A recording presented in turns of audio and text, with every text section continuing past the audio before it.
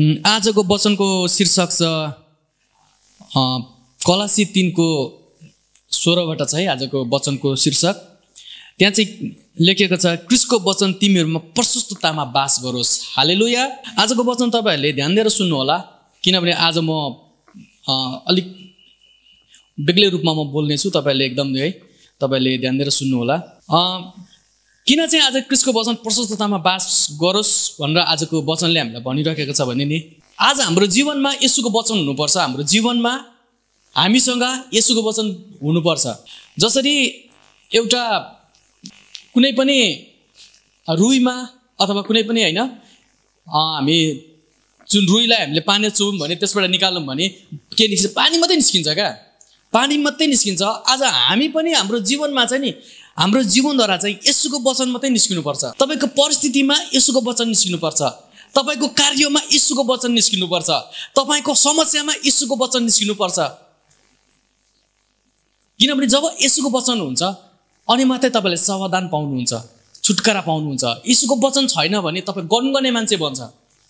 इजरायली जस्तै लसुन खान नपाउँदा नि गनगन गर्नुहुन्छ मासु खान नपाउँदा नि गनगन गर्नुहुन्छ। तर जब तपाईँसँग वचन हुन्छ नि तपाईँ गनगन गर्नुहुन्न अमेन यसकारण तपाईँसँग वचन हुनुपर्छ। अनि बाइबलले यही भन्छ कि तिमीहरूको हृदयमा क्रिस्को वचन प्रशस्ततामा बास गरोस् भन्नुहुन्छ क्या। आमेन प्रशस्ततामा येसु क्रिस्टको वचन तपाईँ र मेरो हृदयमा हुनुपर्छ। जब पनि मोसा अगमवक्ता मर्नुहुन्छ यौसुलाई अब त्यो नेतृत्व अब परमेश्वरले सुम्पिनुहुन्छ अब यो इजरायलीहरूलाई अब तैँले लिड गर्नुपर्छ। मोसा मरिसक्यो। जब यसरी यौसुलाई परमेश्वरले भन्नुहुन्छ अनि परमेश्वरले आएर त्यहाँनिर चाहिँ नि केही पनि त्यहाँनिर दिएको छैन। तपाईँले यौसु एकको सातदेखि म नौसन पढ्नेछु तपाईँलाई म यहाँनिर म बताउन चाहन्छु। यहाँनिर यौसुलाई ठुलो भार आउँदै गर्दाखेरि त्यहाँनिर चाहिँ नि परमेश्वरले त्यही वचन दिनुभयो। जुन वचन चाहिँ पहिला मोसा अगमक्तलाई दिएको थियो त्यही वचन नै यौसुलाई दिनुभयो। त्यही वचन मात्रै दिनुभयो। वचन चाहिँ किन चाहिँ महत्त्वपूर्ण छ? वचन चाहिँ किन चाहिँ शक्तिशाली छ? वचन दिनुभयो। सातदेखि म नौसन पढ्नेछु। बलियो र अति साँची हो। मेरो दास मसाले तँलाई आज्ञा गरे अनुसार सबै व्यवस्था पालन गर। त्यसबाट दाहिनेतिर वा देब्रेतिर नफर्किनु र तँ जहाँ गए पनि सफलता पाउनेछस्। आठले भन्छ व्यवस्थाको यो पुस्तक तेरो ओठबाट नहटोस् तर त्यसमाथि तैँले दिनरात ध्यान गर्नु। अनि त्यसमा लेखिएका सबै कुरा होसियारी साथ पालन गर्नु र तेरो सबै मार्गहरूमा तैँले उन्नति गर्नेछस् र सफलता पाउनेछस्। नौ पद। तँलाई मेरो आज्ञा छ। बलियो र खुबै साँची बन। नडरा निराश नहो किनकि तँ जहाँ गए पनि परमप्रभु तेरो परमेश्वर तेरो साथमा हुनुहुनेछ। तपाईँले यो घटना बताउन चाहन्छु।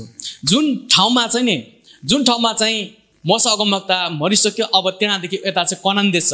कनान देशमा त्यहाँ चाहिँ एमेरीहरू हित्तीहरू त्यहाँ चाहिँ खाल खालको त्यहाँनिर चाहिँ मानिसहरू बस्ने गर्थे त्यहाँनिर चाहिँ। जब एकचोटि मसा अगमवक्ताले बाह्रजनालाई जासुसको निम्ति पठाउँछ जा त्यो देशलाई हेरेर आएछ कस्तो चिज मैले तिमीलाई दिनु आँटेको देश एकचोटि हेरेर आऊ भनेर जब परमेश्वरले बाह्रजनालाई पठायो भनिकन के अरे मसा अगमवक्ताले पठाउँछ। जब त्यहाँ पठाउँदै गर्दाखेरि नि तिनीहरूले के हेरेका छन्?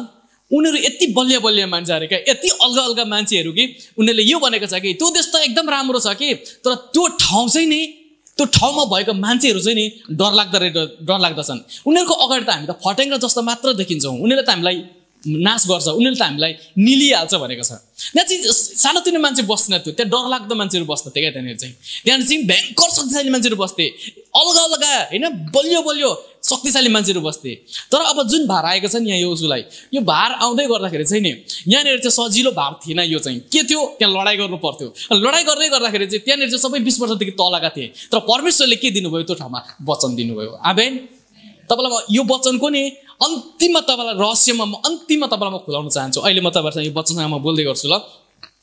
यहाँनिर चाहिँ वचन दिनुभयो। तर यौसुलाई चाहिएको चाहिँ वचन थिएन। यौसुलाई चाहिएको चाहिँ लडाइँ गर्ने मान्छे थियो। लडाइँ गर्न सक्ने मान्छे थियो। त्यो देशलाई कब्जा गर्न सक्ने मान्छे थियो। त्यो देशका हरेक शक्तिशाली मान्छेलाई लडाइँ गरेर जितेर विजय गर्न सक्ने मान्छे चाहिएको थियो यौसुलाई। तर परमेश्वरले त्यही वचन दिनुभयो। जुन वचन मसा अगमवक्तालाई दिनुभएको थियो। आमेन। जुन वचन चाहिँ नि मोसा अगमवक्ताले दिनुभएको थियो। त्यही वचन यौसुलाई दोहोऱ्याउनु भयो। नडरा साँची हो नडरा नआत्ती। तेरो दास मसाला तँलाई जे जे आज्ञा गरेको छ त्यो आज्ञादेखि त दायाँ पनि नलाग बायाँ पनि नलाग। त जहाँ जानेछ जे गर्नेछस् त्यसमा तैँले सफलता पाउनेछस्। तेरो अगाडि कोही पनि उभिनु सक्ने छैन। आमेन। हाले लोया त्यो कुराहरू परमेश्वरले यौसुलाई भन्नुभयो। तर त्यो कुरा नि यौसुले मानो क्या। यौसुलाई मानो। त्यो ठाउँमा म भएकोमा मान्दिनँ त्यो बेला म चाहिँ मलाई भने म चाहिँ के भन्थेँ? नि परमेश्वरलाई। होइन प्रभु होइन। मलाई स्वर्गदूत पठाउनुहोस्। मैले लडाइँ जित्नु छ। मलाई तपाईँको वचनको आवश्यकता यतिखेर मलाई परेको छैन। तपाईँले मलाई स्वर्गदूत पठाउनुहोस्। कि त तपाईँले मान्छे कहाँ कहाँबाट मलाई ल्याइदिनुहुन्छ? अलिक बलियो बलियो मान्छेलाई ल्याइदिनुहोस् ताकि म युद्ध गर्नुपर्नेछ। यहाँ यस्तो यस्तो त बुढाबुढी मसिना केटाकेटीहरूसँग म लडाइँ गर्नु म सक्दिनँ भनेर सक्थ्यो। म चाहिँ भयो त्यस्तो भन्थ्यो होला। त्यो ठाउँमा म हुँदै गर्दाखेरि तर यौसुले यो कुरा भनेन। यौसु चाहिँ के भनेको थियो नि त्यतिखेर क्या जब बाह्रजनाहरूले नि बाह्रजना जाँदै गर्दाखेरि दसजनाले के भने हामी त्यो देश हामी कब्जा गर्न सक्दैनौँ। त्यो देशमा भयङ्कर खतरा खतरा मान्छेहरू छ भयङ्कर शक्तिशाली मान्छेहरू छ। उनीहरूको अगाडि हामी फटेङ्ग्रा जस्तो छौँ। भनिकन जब नि अरू दसजनाले भने तर यौसु र काल्पीले चाहिँ के भने होइन होइन त्यो देश एकदम राम्रो छ। परमेश्वरले हामीलाई प्रतिज्ञा गर्नुभएको छ। परमेश्वरले त्यो देश हामीलाई दिनुहुन्छ। आमेन। यौसुले यो कुरा थाहा थियो। यौसुलाई चाहिँ नि परमेश्वरको वचन थाहा थियो। यौसुलाई परमेश्वरको प्रतिज्ञा थाहा थियो। यौसुलाई परमेश्वरले दिनुभएको त्यो वचनलाई उसले महत्त्व थाहा थियो क्या उसलाई चाहिँ। परमेश्वरको वचन चाहिँ के हो भन्ने कुरा? जब ऊ त्यो कुरा थाहा पाएको कारणले गर्दाखेरि नि उसमा यो भार आउँदै गर्दाखेरि पनि यो लडाइँको युद्धमा ऊ अगाडि हुँदै गर्दाखेरि पनि उसले नि गनगन गरेन। उसले नि विश्वास गर्यो। आमेन। यो लडाइँ जितेर कनान देश छिराएरै छाडेको छ। तिनीहरूलाई नाश गरेर त्यो त्यो शत्रुलाई नाश गरेर त्यो विजय गरेर त्यो देशहरू कब्जा गरेका छन्। त्यो देशमा उनीहरू आनन्द त्यो देशमा परमेश्वरले प्रतिज्ञा गरेको देश दुध र म बग्ने देश जुन देश त्यो देशमा उनीहरू नि बसोबास गरेका छन्। हाले लुया हाले लुया तर परमेश्वरले के दिनुभयो? वचन दिनुभयो। वचन दिनुभयो। युद्धको मैदानमा वचन दिनुभयो। हतियार दिनुपर्ने। अहिले त बम छ त्यतिखेर बम हुँदैन त्यो बेला अलिक लामो लामो तरवार। होइन? बिस फिटसम्म पनि यस्तरी हान्दाखेरि लाग्ने तरवार चाहिएको थियो। अहिले त भएको त बम ड्याममै हानिसक्दा अहिले त होइन? अहिले त त्यो जमाना बम थियो हेर नि त। तरवार भाला अलिक शक्तिशाली भाला उनीहरू उनीहरूले कहिले नदेखेको भाला दिनुपर्ने। तर वचन दिनुभयो। हाले लुया वचन दिनुभयो। वचनको महत्त्व कसले बुझेको थियो? यौसीले बुझेको थियो वचनको महत्त्व। आमेन। आमेन। म तपाईँलाई यो कुरा म भन्न चाहन्छु। तपाईँसँग प्रशस्ततामा यसो क्रिस्टको वचन रहोस्। प्रशस्ततामा। सायद तपाईँसँग घर छैन होला। सायद तपाईँको कुनै राम्रो साइकल पनि छैन होला। मोटरसाइकलको कुनै नगर साइकल पनि छैन होला। तर तपाईँसँग चाहिँ नि यसुको वचन रहोस्। तपाईँसँग चाहिँ नि वचन रहोस्। साथी कस्तो छ? एउटा छ कि दुईवटा छ कि दसवटा छ कि? सयवटा छ मतलब भएन। तर तपाईँसँग चाहिँ वचन कति छ हृदयमा? यो वचनले चाहिँ तपाईँको जीवनमा काम गर्छ। तपाईँलाई सुरक्षा दिनसक्छ तपाईँलाई आनन्द दिनसक्छ तपाईँलाई शान्ति दिनसक्छ हमेन तपाईँलाई युद्धमा सफल गराउन सक्छ। तर त्यो युद्ध तपाईँले नि जितेको पाउनुहुन्छ। तर परमेश्वरले त्यहाँ खतरा खतरा मान्छे दिनु भएन। परमेश्वरले मात्र वचन दिनुभएको थियो। त्यो वचनको आधारित त्यो लडाइँलाई उनीहरूले सफल गर्न सके। हाले लुया हाले लुया अनि म अर्को वचन मलाई दामी लाग्छ क्या। जब स्वर्गदूतले वचन लिएर आएको हुन्छ स्वर्गदूतले वचन लिएर आएको छ मरियमकोमा। स्वर्गदूतले मरियमकोमा वचन लिएर आएको हुन्छ। हामी त्यो कुरालाई पढौँ न होइन। लुकाको पुस्तक एक अध्यायलाई निकाल्नुहोस्। लुकाको एकको चौतिस। लुका एकको चौतिसमा यहाँ यसरी लेखेको छ हेर सुन्नु होला। मरियमले स्वर्गदूतलाई भनिन् यो कसरी हुन सक्छ? किनकि म एक कन्या हुँ। स्वर्गदूतले तिनलाई जवाब दिएर भने पवित्र आत्मा तिमीमा आउनुहुनेछ र सर्वोच्चका शक्तिको छाया तिमीमाथि पर्नेछ। यसकारण जो जन्मिनुहुनेछ उहाँ पवित्र अर्थात् परमेश्वरको पुत्र कहलाइनु हुनेछ। हेर तिम्रो नातेदार एलिसेबाले पनि तिनको वृद्ध अवस्थामा छोरो गर्भधारण गरेकी छिन् र जो बाजी कहलाएकी थिइन् तिनी अहिले छैटौँ महिनामा छिन्। सैतिस पद। किनकि परमेश्वरको निम्ति कुनै कुरा असम्भव छैन। अनि अडतिस अनि मरियमले भनिन् हेर्नुहोस् म परमप्रभुको दासी मलाई तपाईँकै वचन अनुसार होस्। तब स्वर्गदूत तिनीबाट विदा भयो। आमेन आमेन यहाँ चाहिँ भन्यो क्या म कसरी जन्माउन सक्छु र? किनकि म त एउटा कन्या केटी हुँ। अहिले तपाईँ अनि मेरो अनि अहिले डक्टर साइन्सलाई हेरौँ भने चाहिँ नानी जन्मिनुको लागि चाहिँ एकजना केटाको जरुरत पर्छ एकजना छोरी मान्छेको जरुरत पर्छ। तर यहाँनिर चाहिँ नि त्यो छैन। त्यहाँनिर चाहिँ के लिएर आएको थियो? स्वर्गदूतले वचन लिएर आएको थियो। तिमीले एकजना व्यक्तिलाई जन्माउँछौ उहाँ चाहिँ यसु क्रेस परमेश्वरको पुत्र हुनुहुनेछ। त्यो भन्दै गर्दाखेरि नि यहाँ अडतिस पदमा आएर म तपाईँको दासी। तपाईँकै वचन अनुसार होस् भन्नु थियो ऊ गर्भधारण भयो। हाले लोया ऊ गर्भधारण भयो उस परमेश्वरको वचनलाई नै उसले के भन्यो? तपाईँको वचन अनुसार होस् मेरो जीवनमा। तपाईँको वचन अनुसार मेरो जीवनमा होस् भन्नु बित्तिकै नि त्यो वचनले पेटमा गएर गर्भधारण गरियो क्या। हाले लुया हाले लुया परमेश्वरले नि हो यहाँ त यसोलाई चाहिँ दिनुभयो कि? तर यसोभन्दा अगाडि नै पवित्र कैलाउनु पर्थ्यो क्या? हाम्रो यीशु क्रिस्ट चाहिँ किनभने वचनमा पहिले नै भनिएको थियो क्या यो वचन चाहिँ। उहाँ गर्भधारण हुनेछ तर कन्या केटीबाट। त्यो कुराहरू चाहिँ नि यहाँनिर आएर पुरा भयो। त्यहाँनिर चाहिँ हेर्नुहोस् त वचन मात्र क्या त्यहाँनिर। वचनले नै गर्भधारण गर्यो हो। म यो विचार गर्छु यो सोच्छु होइन वचनले कसरी युद्ध जितेको म यो विचार गर्छु वचनले कसरी गर्भधारण गरेको कसरी गरेको वचनले नै लडाइँ जितेको छ युद्ध जितेको छ। वचनलाई मान्दै गर्दा मात्रै। वचनलाई मान्दै गर्दाखेरि गर्भधारण भएको छ। नानी जन्माउने शक्ति आएको छ। कसरी भन्ने मलाई प्रश्न मलाई पनि आउँछ क्या कहिले कहिले। म बुझ्दिनँ क्या। कसरी भन्छु क्या तर म बुझ्दिनँ क्या। तर म परमेश्वरको वचनलाई चाहिँ विश्वास गर्ने हिम्मत गर्छु। आमेन। कसरी मलाई थाहा छैन तर भयो त। भन्ने कुरालाई म विश्वास गर्छु। होइन? तर हेर्नुहोस् त वचनले नै वचनै परमेश्वरले मात्र वचन दिनुहुन्छ कि? वचनद्वारै त्यहाँबाट चाहिँ नानी जन्माउने शक्ति पनि दिएको वचन मात्र दिँदै गर्दाखेरि युद्ध जित्ने पनि शक्ति दिएको कस्तो चाहिँ वचन क्या? यो वचन कस्तो चाहिँ वचन हो क्या यो? कस्तो चाहिँ वचन? छक्कै पर्नु कस्तो चाहिँ वचन हो? आमेन। हालेलुया। अनि वचनले यही भन्छ तिम्रो हृदयमा प्रशस्ततामा यसु क्रिस्टको वचन बास गरोस्। हालेलुया। वचनले यही भन्छ कि कलासी तिनको स्वरमा भन्छ कि तिम्रो हृदयमा परमेश्वरको वचन प्रशस्ततामा बास गरोस्। हालेलुया। हालेलुया। वचनले भन्छ यहाँनिर सडतिसले भन्दै मानिसको लागि त असम्भव छ तर परमेश्वरको लागि कुनै पनि असम्भव कुरा छैन। आमेन। कुनै पनि कुरा असम्भव छैन।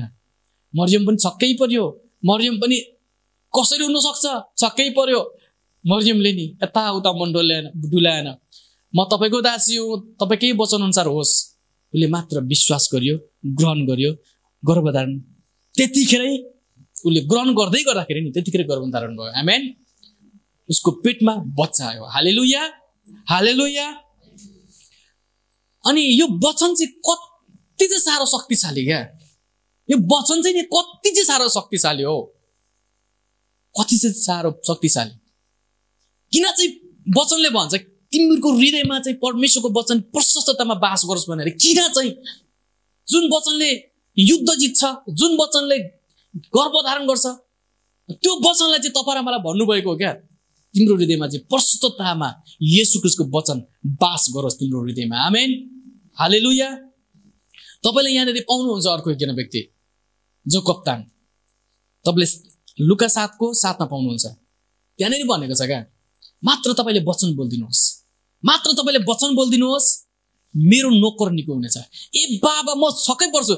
वचन बोल्दै मात्रै पनि रोग निको हुन्छ त हौ। वचन बोल्दै मात्रै पनि रोग कसरी निको भएको? हाम्रो परमेश्वरको वचन चाहिँ नि हरेक थोकलाई नै जन्माउने शक्ति परमेश्वरको वचन हो। आमेन। हालेलुया। म तपाईँलाई अब अलिकति निष्कर्षमा आइपुग्छु अन्तमा आइपुग्न चाहन्छु। तपाईँले यतिखेर तपाईँले निकाल्नुहोस् त। तपाईँले निकाल्नुहोस् योना एकको एक। योना एकको एक। यो वचन चाहिँ के रहेछ यति साह्रो शक्तिशाली छ नि? वचनले गर्भधारण गर्छ वचनले लडाइँ युद्ध जितेको छ वचनले मान्छे निको हुन्छ रोगी निको हुन्छ के चिज छ यो वचनले क्या? वचनले मान्छेहरू छुटकारा पाउँछ वचनले भूत आफ्नो भाग्छ। होइन के चाहिँ हो यो वचन चाहिँ? के चाहिँ हो त यो वचन? किन चाहिँ प्रशुद्धतामा उहाँको वचन चाहिँ बास गर्नु भनेर चाहिँ लेखिएको छ त? यहाँनिर भन्छ क्या? एकको एकमा। आदिमा वचन हुनुहुन्थ्यो वचन परमेश्वरसँग हुनुहुन्थ्यो अनि वचनै परमेश्वर हुनुहुन्छ। आमेन। वचनै परमेश्वर हुनुहुँदो रहेछ क्या? किन चाहिँ लडाइँ जितेको? वचनै परमेश्वर हुनुहुँदो रहेछ। किन चाहिँ गर्भमा नानी आएको? वचनै परमेश्वर हुनुहुँदो रहेछ। आमेन। आमेन। वचनै परमेश्वर हुँदो रहेछ। किन चाहिँ रोगी निको भएको वचनै मात्रै बोल्दा वचनै परमेश्वर हुनुहुँदो रहेछ? हाले लुया हाले लुया वचनै के हुँदो रहेछ? परमेश्वर हुनुहुँदो रहेछ। किनभने वचन मजाले लेखेको छ। आदिमा वचन हुनुहुन्थ्यो वचन परमेश्वरसँग हुनुहुन्थ्यो अनि वचनै परमेश्वर हुनुहुन्थ्यो। हाले लुया अनि तपाईँसँग वचनै हुनु भनेको परमेश्वर हुनु हो। वचनै हुनु भनेको तपाईँले युद्ध जित्नु हो। वचनै तपाईँसँग हुनु भनेको तपाईँले सफलता पाउनु हो। यसुसँग चाहिँ मात्र वचन थियो। वचनद्वारा उसले सफलता पायो। वचनद्वारा उसले युद्ध जित्यो। आमेन। आमेन तपाईँलाई म भन्न चाहन्छु तपाईँसँग के के छ म यो कुरामा? तपाईँसँग म बार्किङ गर्न चाहदिनँ। तपाईँसँग वचन छ कि छैन यो कुरामा म चर्चा गर्न चाहन्छु। तपाईँ कस्तो अवस्थामा छ? तपाईँ कसरी कसरी बाध्य हुनुहुन्छ? मलाई यो कुरामा तपाईँलाई म प्रश्न गर्न चाहदिनँ। तपाईँसँग यसु क्रिस्टको वचन कति छ? यो कुरामा चाहिँ म तपाईँसँग प्रश्न गर्न चाहन्छु। कति चाहिँ छ तपाईँसँग? कति चाहिँ छ? भन्नुहोस्। जति छ नि तपाईँलाई परमेश्वरले त्यही अनुसारले काम गर्नुहुन्छ। युद्ध जित्नुहुन्छ तपाईँ। युद्ध जित्नुहुन्छ। युद्ध तपाईँ जित्नुहुन्छ। तपाईँ गरिबीको शक्तिले जित्नुहुन्छ। उहाँको वचन छ भने वचनै परमेश्वर हुनुहुन्छ। वचनै परमेश्वर हुनुहुन्छ। यसकारण कृष्णको वचन तपाईँहरूमा प्रशस्ततामा होस् भनेर चाहिँ वचनले भनेको छ।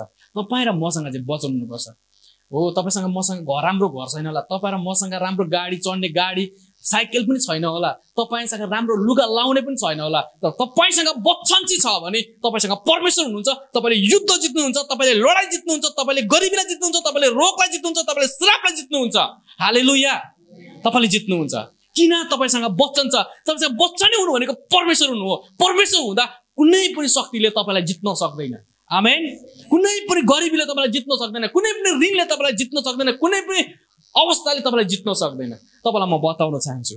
हाले लोहिया हाले लोहिया हाले लोहिया तपाईँले हेर्नुभयो भने नि दाउद दाउद र साउलमा नि दाउद र साउलमा तपाईँले उनीहरूको जीवनमा तपाईँले निहाल्नु भयो भने दाउद त ऊ त एकदम असुरक्षित मान्छे हो। किनभने राज्य अनि उसलाई मार्नको लागि गयो। राज्यले उसलाई मार्नको लागि गयो। दाउदलाई तिम्रो जहाँ भेट्छौ ती भाला हारेर मार भनेर। किनभने साउलले यो कुरालाई हुकुम गरिसकेको थियो। दाउदसँग त कोही पनि थिएनन् अलिअलि मान्छेहरू उसँग कति कति मान्छेहरू मात्रै उसको साथमा थिए। नभए सबै राज्य नै साउलकोपट्टि थिए। तर दाउदसँग चाहिँ परमेश्वर हुनुहुन्थ्यो। तर साउल मर मरो दाउद मरेन। किन? परमेश्वर चाहिँ कोसँग हुनुहुन्थ्यो? दाउदसँग हुनुहुन्थ्यो। हाले लुया यस कारणले गर्दाखेरि नि साउल चाहिँ ऊ मार्न गएको उसको राज्यमा उसले मानिसहरू खटाएको तर ऊ चाहिँ असुरक्षित भयो को सुरक्षित भयो दाउद सुरक्षित भयो। किन? परमेश्वर दाउदसँग हुनुहुन्थ्यो। आमेन। हाले या अहिलेको यो नयाँ नियममा तपाईँसँग वचन छ भने परमेश्वर तपाईँसँग हुनुहुन्छ। वचन परमेश्वरको परमेश्वरको वचन तपाईँको जीवनमा छ भने नि कृष्णको वचन तपाईँसँग छ भने तपाईँसँग परमेश्वर हुनुहुन्छ। परमेश्वर तपाईँसँग हुनुहुन्छ। वचनै परमेश्वर हुनुहुन्छ। वचनलाई तपाईँले प्रशस्ततामा हृदयमा तपाईँले राख्नुहोस्। प्रशस्ततामा उहाँको वचनलाई तपाईँले हृदयमा गाड्नुहोस्। प्रशस्ततामा उहाँको वचनलाई तपाईँले हृदयमा विश्वास गर्नुहोस्। आमेन। आमेन। यो वचनले तपाईँको जीवनमा काम गर्छ। आमेन। हाले लुया हाले लुया